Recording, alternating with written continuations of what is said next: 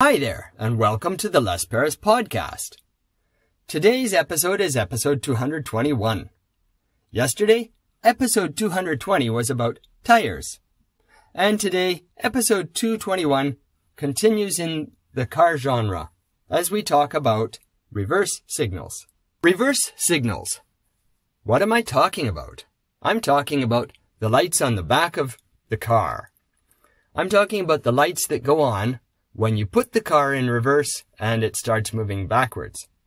These lights are very important because, well, you need to tell everybody around you that you're about to move backwards. And the lights are the easiest indicator. Some trucks also have audio signals. They have a beep beep sound so that you can hear it even if you're not looking. Sometimes I think that the sound is better than the light because you don't have to actually have your head pointed in the direction of the car or truck. No matter where you are, the sound will enter your ears and you can be aware that that truck is moving. On the other hand, I hate the noise. It's just noise to me. And it's usually too loud. It's not a little bit loud, it's too loud.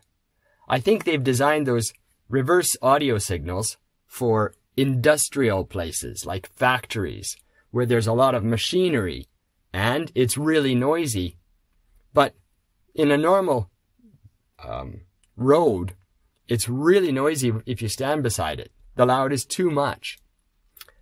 And the lights, well, they're good, they're necessary. But these days, a lot of the car manufacturers are getting kind of crazy about lights and they're putting the lights in funny shapes. Some of them are skinny and pointy and they have arrows and they they go flipping along, beep, beep, beep. It's not a nice, clean, simple light. I think simple is best. And just a big, square, flat light on the back of the car, on either side, is the best way to indicate that the car is going backwards. Today's discussion of reverse signals involved a lot of difficult language. Be sure to Listen again and again to get used to those big words. Hey, thanks for listening through to the end of episode 221 of the Les Paris podcast. Episode 221 today was about reverse signals on cars and trucks. And tomorrow you can listen again to episode 222, which is about water pools.